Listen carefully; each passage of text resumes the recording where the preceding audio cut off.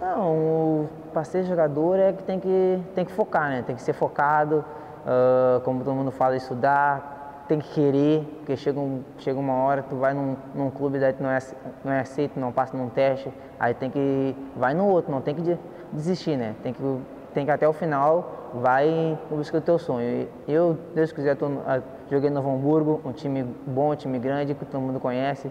Uh, fui feliz aqui, e agora, se Deus quiser, vou continuar aí, mas é, como eu falei, ser jogador tem que gostar muito e quando chega lá num, num patamar, num sonho, tu quer ser jogador num time grande, daí já chega ali, mas não pode relaxar, né? Porque se relaxar, vai tocar tudo de novo. Então sempre tem que focar e dar o máximo que teu.